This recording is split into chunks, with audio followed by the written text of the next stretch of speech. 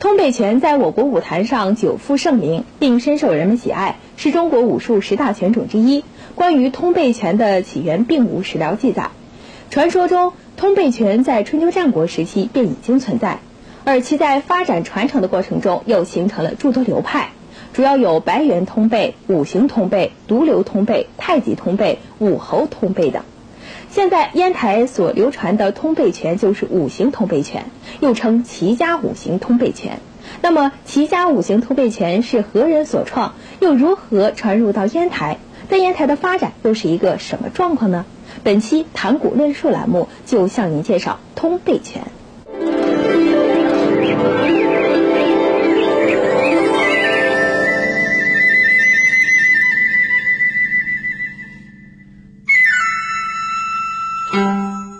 十三岁的钟福坤习练五行通背拳已有四十多年历史，是齐家五行通背拳的第七代传人，多年致力于齐家五行通背拳的研究和整体工作。在他收藏的《通背拳全谱》记载了这段历史。齐家五行通背拳创始人为齐信。清朝道光年间，齐家在河北固安县开馆授艺，称为齐家门。尤其以枪法闻名于当地，并精通多种武术。当时江南有个切师傅，因仰慕齐家大枪，便以心急通背拳与齐家交换。于是，齐信与儿子齐太昌将齐家大枪六合拳、明堂绑切手法、心急通背拳融为一炉，于是就有了齐家通背拳。反正这这一块就是开始跟齐信就开始来了，齐信齐太强啊，交给他的儿齐太强啊，齐太强。交给了，就是一代就是那个徐天河，啊，再就是徐天河交给了徐建区，再早就是，呃，随着一代一代的这个演变而成的，最后就是，呃，大连就是那个谁啊，徐建区老先生啊，啊。最后，他归纳出了通背这些东西。通背拳其风格特点是大体大粗，放长肌圆，粗犷豪放，凶猛沉实，雄浑有力，舒展大方，而又内外兼顾，刚柔相济。特别是其掌法练习更有独特之处，发左拳上左腿，发右拳上右腿，也就是所说的顺拐。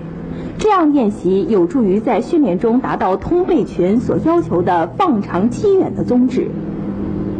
摔掌、拍掌、穿掌、提掌、攥掌，多种掌法的组合，更是将通背拳的特点发挥的淋漓尽致。综上所述，通背拳在练法、击法、力法等方面都有着与其他拳种不同的特点，已经由一种单一的锻炼方法发展成为有完整的训练、技击理论的练法、击法的特殊门派。而在这个完善的过程中，修建吃做出了巨大的贡献。修建吃，河北固安县人。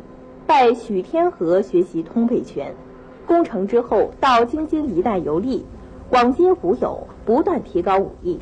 一九二零年，修建吃到大连广收弟子，以教拳为业。从此，齐家五行通背拳正式走出了河北。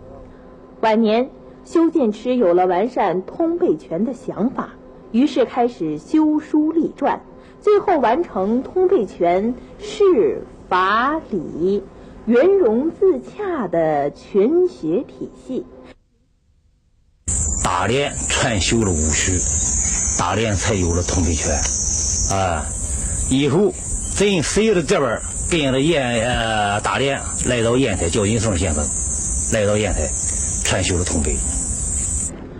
赵振生原名林玉普，烟台栖霞市江家沟村人。林玉普亦成修建痴，在他身上发生了许多传奇的故事。钟福坤向记者介绍，林玉普生于1906年，于1925年左右来到黑龙江丹东一家饭庄，依靠厨艺为生。后拜赵延荣、赵延平兄弟学艺，一成后在丹东小有名气。后来修建吃的弟子刘恩全来到丹东，两人相识后相处情投意合，结拜为兄弟，并相互授意。于是，两人白天干活，早晚就在饭庄后院练武。在这期间，还发生了一个小故事。据其后人所讲，当时林玉普聚集大家在一起习武，被路过的土匪看见，见其习练兵器很有杀气，于是离开。没过几天，这帮土匪将丹东这条街上的商铺洗劫一空，唯独林玉普所在的饭庄没抢。于是，在那以后，林玉普在丹东名声大振。然而，天有不测风云，林玉普不得不离开丹东，来到大连，最后来到了烟台，并更名为赵振生。呃。叫尹生老先生，啊，在烟台五二年办起了金生全席。啊，在那个年代，就是烟台三十多年前吧，唯独没有通匪。啊，从焦老师来了以后，烟台才知道通匪权。啊，由此看来，通匪权在烟台生根发芽。赵振生做出了重要贡献。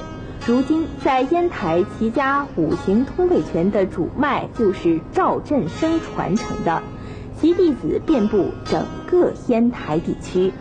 通背拳作为中国武术十大拳种之一，在烟台有着众多的习练者。据钟福坤介绍，在烟台学习这种拳法的市民就有几百人之多。我们相信，经过这些习武者的努力，通背拳必将在烟台发展壮大。